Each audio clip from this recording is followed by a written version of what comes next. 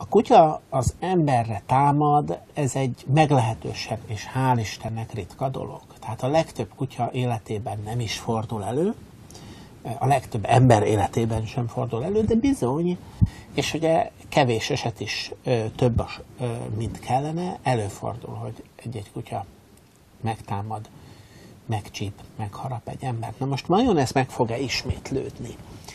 Ezre nagyon nehéz jóslást mondani, azonban én erre azt ö, tudnám esetleg említeni, hogy ugye a kutyák egy jó része sose fog megtámadni embert egész életében. Van egy kis része a kutyáknak, ami viszont ö, általában extrém kör, körülmények között bizony oda kap egy embernek, megharap egy embert. Na most ezeknél a kutyáknál úgy tűnik, hogy ennek a vonalnak az áthágása, hogy az embert megtámadjuk, ez elérhető. Tehát azt merném állítani, hogy ha egy kutya egyszer megharapott egy embert, akkor legalábbis figyelni kell arra, hogy az a szituáció, amiben ez a támadás megtörtént, ne nagyon forduljon elő még egyszer.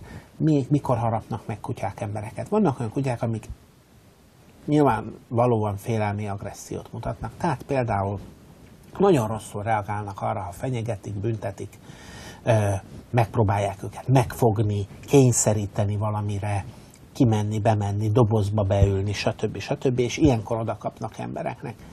Ezt a szituációt kerülni kell ezeknél a kutyáknál.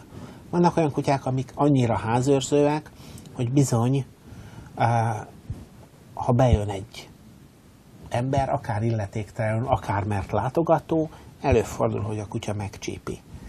Ezeknél a kutyáknál nagyon kell figyelni erre a szituációra, mert ez náluk bizony hajlam. Tehát eh, ha egyszer volt már támadás, akkor nagyon kell figyelni a hasonló szituációkra, mert ez bizony előfordulhat megint is.